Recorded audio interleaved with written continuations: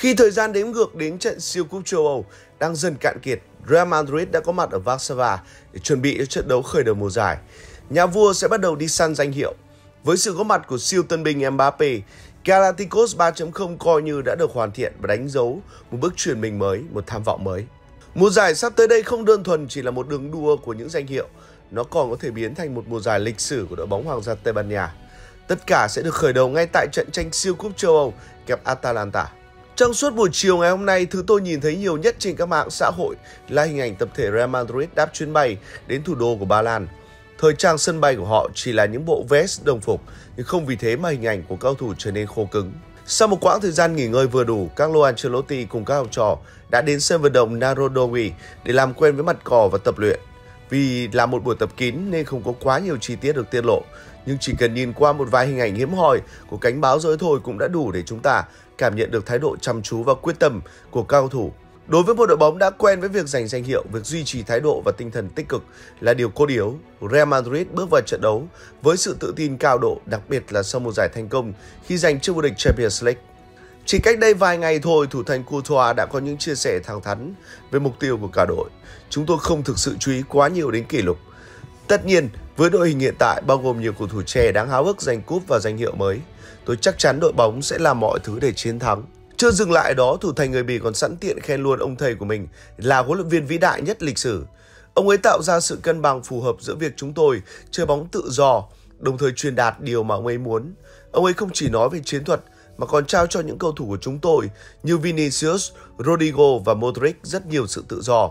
Ông ấy là một trong những huấn luyện viên vĩ đại nhất lịch sử. Sau cùng Courtois cũng thể hiện sự tôn trọng với đối thủ và cho rằng Atalanta là một đối thủ cực kỳ khó chịu. Trong buổi họp báo trước trận, hai trong số 4 thành viên ban cán sự của Real Madrid mùa tới là Valverde và Cavahan đã có mặt cùng với huấn luyện viên Carlo Ancelotti để bật mí cho người hâm mộ rất nhiều thông tin quan trọng trước trận đấu. Xuất hiện trong số áo mới cùng với trọng trách mới, Valverde cho biết rằng anh đang rất nóng lòng trong lúc diễn ra trận đấu.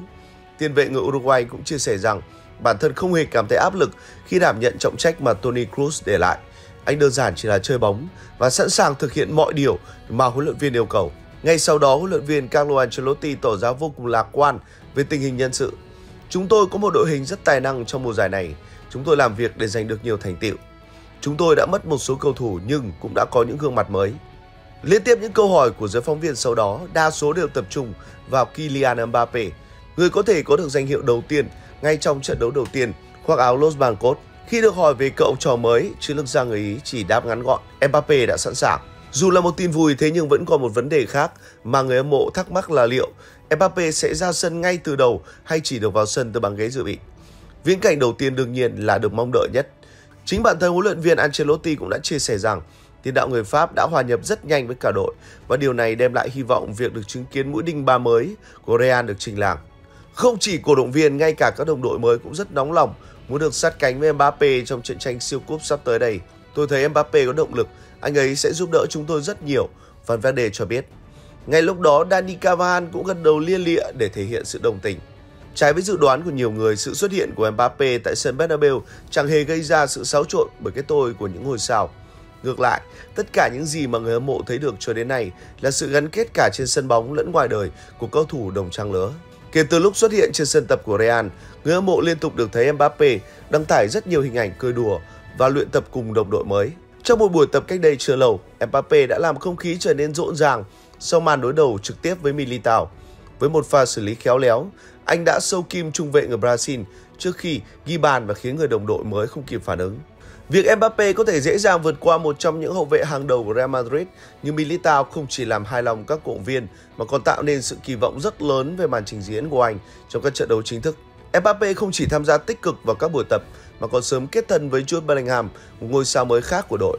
Sự kết nối nhanh chóng giữa cầu thủ này được kỳ vọng sẽ mang lại sự gắn kết mạnh mẽ trên sân cỏ. Về tình hình lực lượng của Real Madrid, huấn luyện viên Carlo Ancelotti dù đã có thêm một vài sự bổ sung chất lượng trong mùa giải năm nay, nhưng có vẻ như chiến lược gia người Ý sẽ khởi đầu trận đấu với dàn nhân sự đã giúp đội bóng đi đến chức vô địch Champions League mùa giải trước. Những cầu thủ như Vinicius Junior, Rodrigo và Cavahan dự kiến sẽ tiếp tục đóng vai trò quan trọng trong trận tranh siêu cúp. Một điểm đáng chú ý là sự xuất hiện của Mbappe và Jude Bellingham. Mặc dù họ chỉ mới bắt đầu tập luyện trở lại sau kỳ nghỉ, nhưng họ đã nhanh chóng thích nghi và có thể sẽ được Ancelotti tin tưởng giao phó những vai trò quan trọng trong trận đấu. Nếu như có thể đảm bảo một suất đá chính cho Bellingham thì như tôi đã nói trước đó, việc Mbappe có xuất phát ngay từ đầu hay không vẫn là một dấu hỏi lớn. Xui rủi lớn nhất đã xảy ra khi tiền vệ Camavinga gặp chấn thương nặng trong lúc tập luyện trước trận đấu. Vẫn chưa rõ về mức độ nặng nhẹ của chấn thương, nhưng chắc chắn tiền vệ người Pháp sẽ vắng mặt trong cuộc đối đầu với Atalanta. Ngoài ra, việc phải chia tay với Toni Kroos và Nacho cũng sẽ khiến Carlo Ancelotti phải băn khoăn rất nhiều. Dẫu vậy, tình hình nhân sự hiện tại cũng là đủ để chiến lược gia người Ý xoay sở. Khả năng cao sẽ là sự trở về với sơ đồ 4-3-3 quen thuộc. Trong cung gỗ, Courtois sẽ vượt qua Lunin để chiếm suất bát chính. Bộ tứ vệ sẽ là Dani Carvajal, ở vị trí hậu vệ phải cánh đối diện sẽ là Ferland Mendy, cặp trung vệ khả năng cao là Rudiger và Militao. Trong khi đó, bộ ba tiền vệ sẽ lần lượt là Bellingham, Chouameni và Van Verde. Trên hàng công đó sẽ là bộ ba hủy diệt được mong đợi Vinicius, Mbappe và Rodrigo. Carlo Ancelotti làm huấn luyện viên giàu kinh nghiệm và luôn biết cách tối ưu hóa chiến thuật để phù hợp với tình hình thực tế của đội bóng. Trong trận đấu sắp tới, ông sẽ dựa vào chiến thuật đã giúp Real Madrid thành công trong mùa giải trước, nhưng cũng sẽ có những điều chỉnh phù hợp để tận dụng tối đa tiềm năng của những ngôi sao như Mbappe và Bellingham. Mbappe được kỳ vọng sẽ là nguồn cảm hứng cho hàng công của Real Madrid. Ancelotti sẽ không chỉ tận dụng khả năng ghi bàn của Mbappe mà còn yêu cầu sự linh hoạt trong cách chơi của anh, kết hợp với các đồng đội như Vinicius và Rodrigo để tạo ra một hàng công đáng sợ. Ngoài ra, Ancelotti cũng sẽ tập trung vào việc kiểm soát khu vực trung tuyến, nơi bộ ba tiền vệ của Los Blancos sẽ đóng vai trò then chốt để dẫn đến chiến thắng. Chiến thuật của Real Madrid có thể sẽ dựa vào việc kiểm soát bóng và phát động tấn công từ trung tuyến với sự hỗ trợ của các hậu vệ cánh như Dani Carvajal và Ferland Mendy.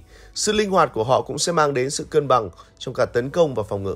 Một yếu tố quan trọng khác trong chiến thuật của Ancelotti là khả năng điều chỉnh trong suốt trận đấu. Với việc nhiều cầu thủ chỉ mới trở lại sau kỳ nghỉ, Ancelotti dự kiến sẽ thực hiện nhiều sự thay đổi trong hiệp 2 để duy trì sự ổn định và đảm bảo thể lực cho cao thủ. Đừng quên là Real vẫn còn đó rất nhiều cái tên chất lượng, từ Luka Modric mới có một giai đoạn tiền mùa giải ấn tượng, một Cooler giàu tiềm năng hay một Brahim Diaz khao khát thể hiện mình. Tất cả đều rất sẵn sàng cho trận chiến sắp tới.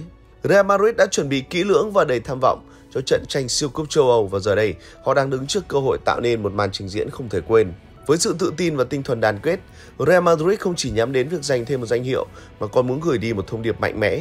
Họ là đội bóng hàng đầu châu Âu, sẵn sàng đương đầu với mọi thách thức. Trận đấu với Atalanta không chỉ là một cuộc đọ sức mà là còn là sân khấu mà còn là sân khấu để Real Madrid chứng minh rằng họ vẫn đang là đội bóng khó bị đánh bại nhất. Người hâm mộ có thể mong chờ vào một đêm huy hoàng, nơi tài năng và chiến thuật sẽ cùng hòa quyện để tạo nên một chiến thắng đáng nhớ.